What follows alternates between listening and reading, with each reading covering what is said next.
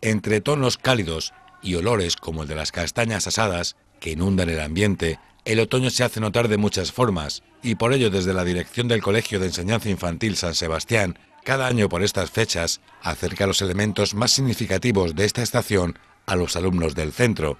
Como todos los años celebramos la estación del otoño con una serie de actividades. A lo largo de la semana hemos preparado eh, decoración para el patio y actividades manuales. Eh, hoy jueves han, realizado un desayuno con frutos carnosos, han estado aprendiendo la variedad de, de, frutos que hay en otoño.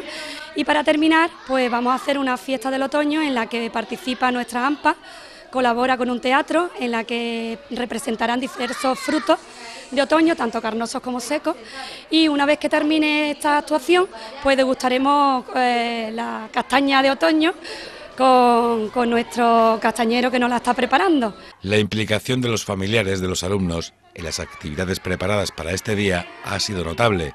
La clave es la motivación que en fiestas como estas alcanza sus progenitores, que no dudan en sumarse de este modo a la celebración. Como siempre queremos presentar todos los conocimientos y todos los contenidos a través de la diversión, a través del juego, que es la mejor forma en la que los niños pueden aprender.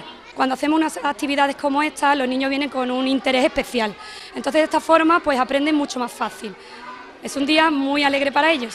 Los alumnos han participado en los juegos propuestos y han aprendido que el otoño nos ofrece la posibilidad de disfrutar de frutas deliciosas que nacen en esta época del año. Estamos comiendo castaña y, y la estamos pelando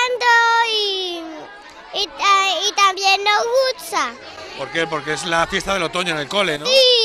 ¿Qué tal? ¿Tú te has comido una castaña ya? ¿Y qué? ¿Cómo estaba?